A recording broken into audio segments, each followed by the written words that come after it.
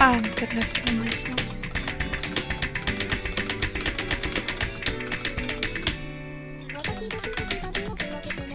My. What the fuck?